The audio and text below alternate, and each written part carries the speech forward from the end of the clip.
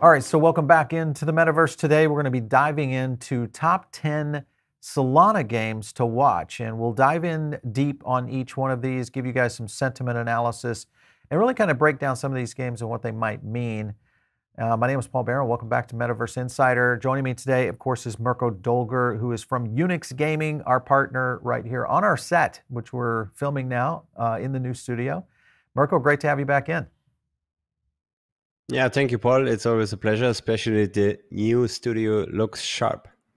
I like it. I like it. We'll go to the wide shot so you guys get a chance to see everything. And really, the fun part of this is, uh, as you guys know, we have both the Tech Pack show, the Tech Path show, and now Metaverse Insider, which is really focused. All of that's on the, the same channel, no different. You'll continue to see just different uh, focuses as we get into Metaverse uh, gaming, a lot more into the NFT side of things uh, for sure. And Mirko is going to be our on-camera guest and and uh, analyst around this. Sometimes you guys see our um, our TA analyst Evan Aldo, who's over on the TechPath show, uh, but Mirko is kind of our Evan Aldo for metaverse and gaming.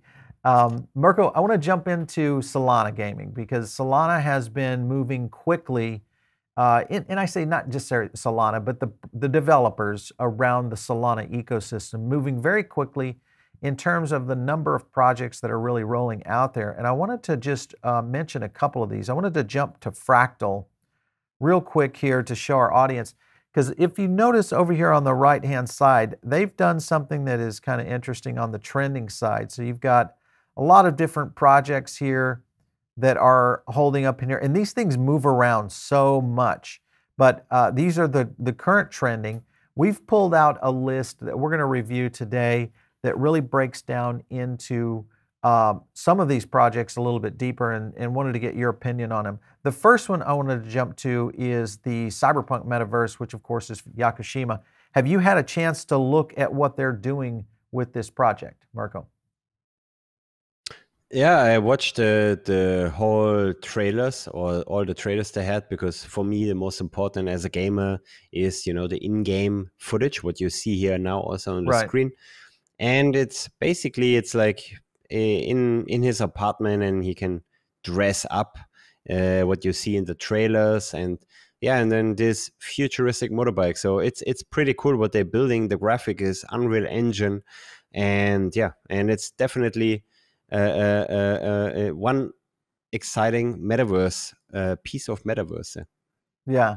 I like, okay, so with uh, Yaku uh, Corporation, who can, is behind this particular project with Yakushima, um, one thing that is, I think, interesting and also needed with most of these projects is that they are verified projects. We have doxxed teams behind this, which is another big thing. They also have a team size of, I think, like 15 people.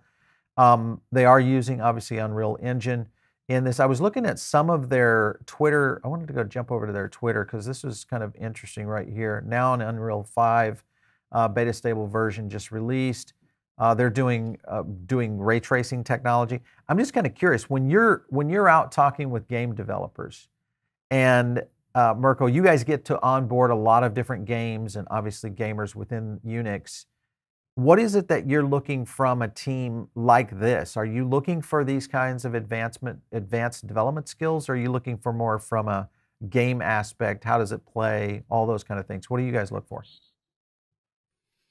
I would different in two parts because if if they if you claim that you want to deliver like high end graphics, so then you need to have the high end graphics team behind.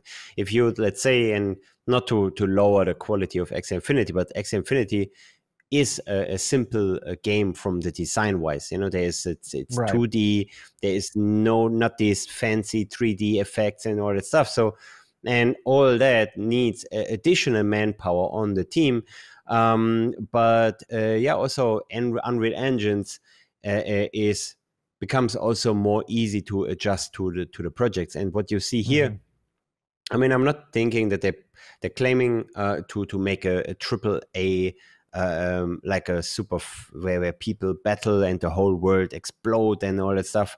No, I think they, they just want to build a nice uh, a metaverse where you basically either race or participate in social hubs, something like that. And I think they've yeah here on the video you can see it's it's basically it's uh, um, having your avatar, and uh, also sooner you will see that you can dress them up. And I think that's the the main feature here in designing your apartment um, as well. And yeah, the team is super important. What we're looking at, and uh, we asking the technical questions, and we can if we get the, uh, the confidence that they know what they're talking about, that's of course right. a big plus. And then we we definitely agree, and then we we see that there is you know and yeah and some are super passionate it's like myself as a gamer and then you have like actually you just want to talk about the game and you talk like two hours about gaming and what's possible and not and the future is here stuff like that and no but yeah um, definitely team team is super important backing as well um, this is like two criteria and um, yeah and then tokenomics but this is like i would say always the three key elements what we're looking at yeah mm-hmm. Uh, I wanted to get into Synergy Land. Uh, that was our number two uh, project. Let me just jump over to Synergy Land, their website, of course. Lots of, you know, they've had a ton of people doing some interesting things around it. The team's pretty, pretty well uh, vetted out here. So I, I like this one. Are you, what are your thoughts on Synergy Land? Do you like this concept? Uh, Synergyland is an RPG, and um, if you know from let's traditional gaming, usually RPGs are the um, most played titles. Yeah, we have uh, either you have uh, uh, like characters like League of Legends. Okay, it's a MOBA, but let's say Diablo, um, Titan Quest, Path of Exile. Um, there is so many uh, uh, titles and RPGs. If you see now Elden Ring or Dark Souls, that's been always the titles you want to play.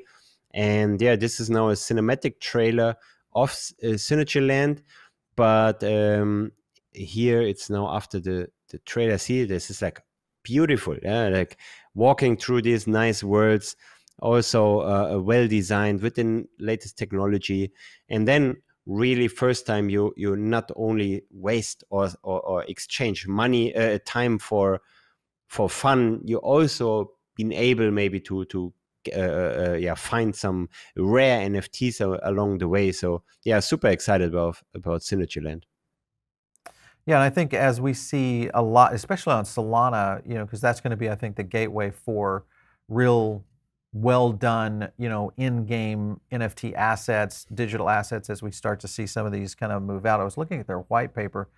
They had a lot of uh, not only the team itself, but also just from the background of the team itself. I thought was pretty in- intriguing. That's something that we do look at, you know, when we are looking at some of these games. But again, do you think that in some cases, do you feel like the game construct, even though you may have just a star team?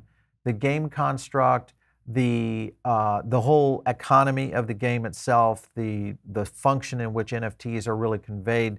Do you feel not like that is not the most important thing for a game to be successful? I mean, now we have also the the um, economy factor or the token factor, uh, what we need to consider. So, I mean, you can be the best with game design, but mm-hmm. now you also need to have beside the fun a running economy you know it's right. like so basically you need to get people from finance in that you can create your game before it was mm-hmm. like yes just you were concentrating about design artwork uh, um, level design uh, quests and all that stuff and now it's a little bit more let's say complex but solana is a, a very interesting blockchain for that because solana is really like actually incubating games. So if you want to, if you're a game, they basically offer you, of course, building on Solana, what makes uh, uh, um, uh, uh, gameplay way more smooth because it's fast and cheap. Um, but also the incubating and the helping you really to get into the blockchain and that that's really a good support and solana is very very active. That's why so many games are choosing solana. And solana have an also a very growing nft space. So yeah. also then in-game assets can be easily transported on the marketplace. And in addition and because we talked before about uh, decentralized and going into uh, uh, the blockchain uh, and now because with solana you can basically build on chain you know because like there's mm-hmm. two two factors off chain and on chain but uh, solana super blockchain fast cheap safe and they're supporting all these new projects. So yeah, super excited. Yeah, they've got uh, PC mobile on this game uh, as well. Um, I was looking at the first trailer here on the. You know, I, I do follow a lot of the these games. We kind of keep a roster of hundreds and hundreds of these from an aspect for our crypto power index ranking, which I'll show you guys here in a second. We'll take a look at these 10, re-rank them according to sentiment, because they actually fall out differently than what Fractal had them in terms of trending. But back to your point, there's a lot there. Um, and I want to get into some of these others because you've got Panzer Dogs coming in, uh, small team size, multiplayer, uh, but it is it's playable now within it. Have you had a chance to look at Panzer Dogs? I, I rarely looked at it. It's very new. It's trending. That's why we have it in our list today. But I think it's it's super super uh, um, easy to play. That's why usually like uh, most games they ranked uh, with what you showed before on Fractal, and it's uh, it's the user right. It's the user adoption, and um, it looks easy to play. What we see here, and I think if it, it's when it's fun, then yeah, perfect, perfect combination. Yeah, I like, I like when uh, I'm just kind of curious when you look at uh, not only the ranking, like what Fractal, what what we see from time to time is the trending aspect because there's so many movement uh, within the trending list, whether you look at Play to Earn or Fractal or some of the others out there that do look at the ongoing market of what's happening. What we look at is more of the sentiment, which is more not only game players themselves, but if it is a token or an investment uh, potential, then we get a lot more of that traction, you know, from crypto Twitter and many other places that kind of helps us uh, identify the real winners, which I think is the one thing you have to watch when any time that you're investing in a lot of these projects like this, or maybe you're looking at investing in these or or just playing them, you know, and investing time in them, uh, you do need to pay attention to kind of what the broader marketplace I think is going to bring. Let's go to number their number four at the time, which was Portals. And what are your thoughts on this one? This is one that you actually you and I talked a little bit about, a lot more in depth here. Uh, can you tell me a little bit about this project? Yeah, I think Portal is, um, and uh, comparing it with The Sims, it was a huge success. It was basically a game where you can build your apartment or house.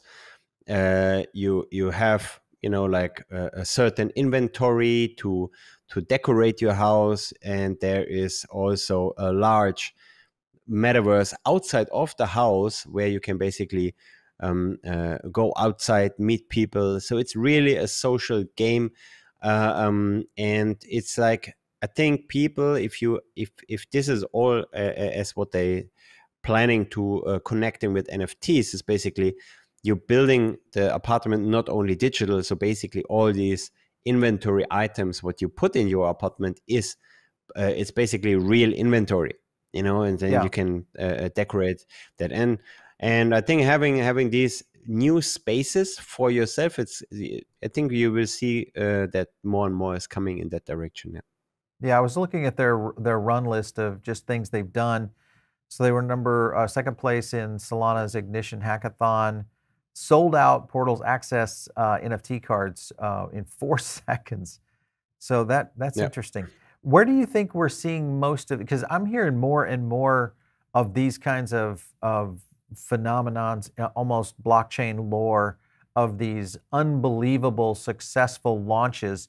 Do you think most of the traffic is coming from new gamers getting into the space that are exploring new games like this, or do you feel like this is the the blockchain wizards that are out there that are playing a variety of different leading games that are constantly looking for additional uh, investment classes, much like in the VV space, because there's a lot of VV people out there that really do, you know, engage heavily in the collectible side of things. Do you think that's starting to develop a little bit of a pop culture uh, within blockchain gaming? I think um, the the collectors of especially these pieces, it's more like the NFT community, and mm-hmm. uh, there you have a very strong community. So uh, on the token aspect of from the cryptocurrencies yes there's also very strong communities um, but i think nft they, this is like already they adjusted the the new mindset. I would say, you know, like seeing NFTs as a status and owning property is a di- digital right. and maybe showing off with, you know, like I mean, in a, in a positive way you know like uh, sure and and if if they sold out in four seconds that means that people really like the idea what they're building and people right, couldn't right. wait anymore and um, you will see projects they're not sold out and it's more maybe about the what they what they wanna what they wanna build so i think yeah. the, the, true fans are here nft adapters yeah. all right so other mentions that we want to hit on is of course uh, monkey league formerly monkey ball uh, that of course is is and we've had it on the show before uh, also star atlas which we've had star atlas actually on the show before uh, SolChicks, uh, Chill Cat, and then Decimated and Cryo War kind of round out the top 10. And we're going to show you guys uh, just in general our overall ranking on this. But I'm kind of curious out of those, when you look at the 10 ranked by sentiment, uh, we'll show you the chart here, uh, Mirko. It's not necessarily based on what uh, Fractal is doing on the trending games, which is usually some different parameters. We look at overall social interaction that's occurring. Still, Star Atlas kind of leads the case. But you have Cryo War, Decimated, Monkey League, uh, and also even SolChicks to a certain extent, still getting a lot of popularity out there on social. What are your thoughts on one of these? Talk to me a little bit about Cryo War because I know you're a big fan of this one. Mm-hmm. Uh, Cryo War is uh, for me because the, the first thing it's a it's a battle game uh, in an arena and then uh, the tokenomics there basically uh, we see similar tokenomics like uh, uh, engines of fury so basically you you betting on your opponent opponent and um, you can basically win what you uh, um, choose to lose basically uh, um, what and then you can double up on your battle you, you have and, and the the graphics they're just insane it looks a little bit um, from the from the design like like uh, League of Legends or Dota, and to name right. them, they're one of the most successful games out there. Um, and Cryo War is just it, it, and important for me is always are these games a mobile uh, uh, uh, available because you're yep. looking at a large large user base uh, uh, on on mobile and it, it's more easy adaptable on mobile uh, considering all the developing countries, let's say Philippines, Indonesia, what is super hyped in, in the play to earn space, but also South uh, uh, America, Africa. And uh, uh, for me, the trailer looks so much fun. That's why I think uh, bringing one addictive game would have all this, yeah, the, the right token economics and game features. Then, yeah, I think that's the that's why I'm I love I love Cryo. I was trying to pull up their their trailer here because this is the one one of them that they have, and I was looking at some of the graphics that you were uh, mentioning. Um, in general, I mean, you're right. The battle games, uh, this is a, a, really killer component. I like the fact that they're using real gameplay too for one of the trailers, but interesting. When you know, Mirko, when you're looking at teams that are designing these kinds of games, uh, is this something? Because we see more and more Unreal Engine being utilized, but also in general, what are your thoughts on? Uh, I like there you go. There, that's the kind of the mobile aspect of it right there. So hmm, yep. interesting. With with that being the case, do you feel that mobile has to be the only route to go with uh, with kind of how this is going in terms of development, especially around util- utilization of say Unreal Engine. What are your thoughts on that? Do you think you have to have a mobile-ready game to do this? Um, I think mobile is is definitely should be in in the current state of play and earn should be the the goal, um, mm-hmm. because a AAA title what is 4K rendering, what needs a heavy PC uh, uh, computing power I think we are not there. That people like having first of all a, very expensive might be a, a, computer or graphic card to play yeah. a play to earn game because might be the entry level is already uh, cost something, um, and mobile. I mean, with the evolution of the mobile phone and what what phones can actually all like uh, they're so strong uh, from from uh, CPU GPU um, sure and there is um, more games like uh, uh comparing PUBG was on computer or PC and went on mobile as well. Battlefield is was from the computer went to mobile.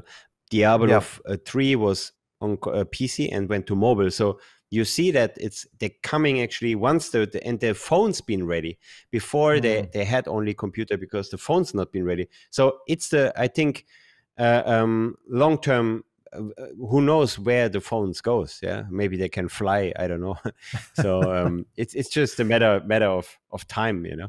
But yeah, definitely sure. mobile should be aimed for heavily now yeah yeah, I think we're and, and I see more and more of that happening, which I like the fact that we'll see more, especially if it's browser based. We get when you get into browser based and mobile, it's kind of the holy grail of what I think will happen, especially because of the aspect that you're reaching, you know, a lot of places around the world that may not necessarily have, you know, heavy ability to have, you know, high bandwidth access all the time mobile networks, in some cases 4G, maybe 5G at, at most, uh, are still going to be limiting on how this grows. And I think this was something that uh, even Zuckerberg was talking about in an interview with um, Lex Fridman. And he was talking about that the real limitations of what we will see in metaverse and gaming in the future are going to be the mobile networks themselves because people will be so mobile out there in the aspect of needing to utilize and, and access many of these games out there. So it's going to be interesting to